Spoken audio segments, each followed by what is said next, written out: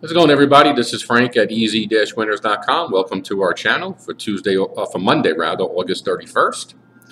On this video, we're going to have an NHL betting playoff prediction between the Boston Bruins and the Tampa Bay Lightning. We'll get to that uh, winner in just a few moments. Uh, to begin things off, uh, if you like what we're doing here, subscribe to our channel and like our videos.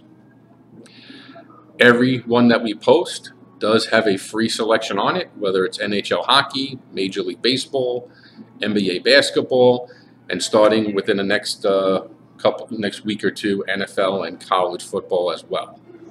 The free selections have been doing extremely well, well over 60% if you've been monitoring us.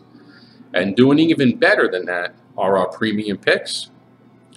We uh, are doing fantastic with them had another winning day yesterday. If anybody who reached out to us uh, yesterday, they, they, they took advantage of those games.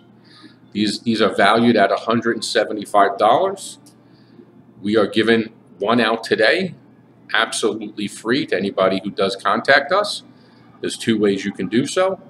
So if uh, the games have not been working out the way you would like, or you're just gonna, you know, you're just very serious about long-term success, uh, we do look forward to hearing from you.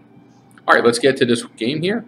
Tampa Bay is minus $1.20. They're up 3-1 in the series. They have the Bruins on the brink of elimination. The goal line is at 5.5. We think the Bruins are going to come up big tonight. We like the Boston Bruins to make it three three games to two to extend this series.